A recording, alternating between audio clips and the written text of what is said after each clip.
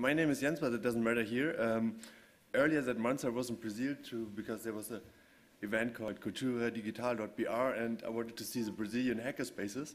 So this is one of the bus which was crowdfunded not by Kickstarter but um, another Brazilian crowdfunding platform uh, that drove the hackers from uh, Sao Paulo to Rio de Janeiro to go to that kind of event which was happening at the Museum of Modern Art in uh, Rio. Uh, which happening, which happening in the Museum of Modern Art in Rio de Janeiro. Uh, this is an area which called the arena, and there was like uh, political people coming to that event, and then you got the discussion to debate with these people about open data, transparency, all these kinds of things. This is one of the reasons why I was also there. Um, you can see there's a difference between culture in here and culture in there. Maybe they're being the same-minded people when it comes to hackerspaces, but uh, Brazil much more have a culture inside of their society. You can see that already with the Samba thing, but it's also going into digital culture. Uh, this was the, like the audience. The guy you see from the second from the left is like the former culture minister from Brazil. He was very, very famous there. Uh, he got really, really good debates on the stage.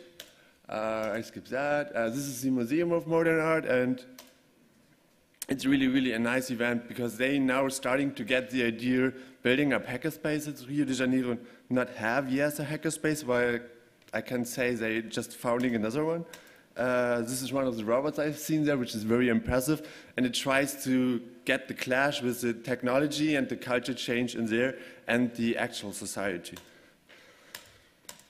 Uh, this is like the only the entrance, so it was completely for free for the conference. Uh, it looks like that. They're recording all the talks and streaming them. And this is like the posters, everyone can contribute, hey, we're doing that event, how do you want to make our event looks like? So everyone was able to contribute a poster, and they publish all of these. Uh, this is like you can put little paper things, and it's flying in the air, it's very nice for kids. Uh, they have a maker board, and so everyone was like showing what's happening in their town. Brazil is really, really huge, so people had to travel a lot in there.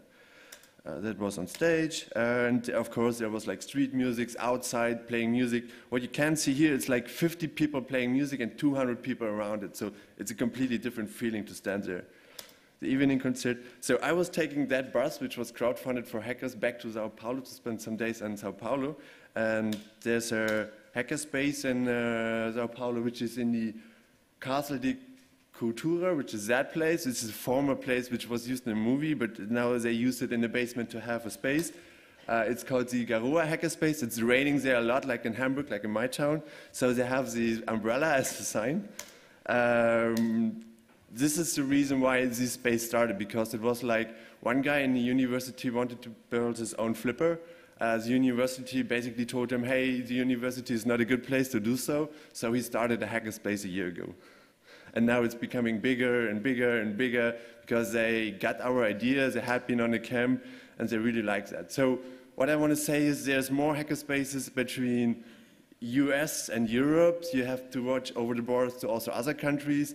When you go there, um, look at hackerspaces.org, check out if there is a space, uh, announce yourself in the IRC, and you will figure that out. These people was really, really hostile to me. They showed me a lot of things. We partied a lot. One minute call for extension. Like uh, the day I had to drive back, they ordered me a special taxi called Jet Taxi, uh, which has like you can see on the internet, which is his actual position. He has a New York telephone number, so when you're being in New York, you can call him to catch you up from the airport. He has an iPad in the car and Wi-Fi for free.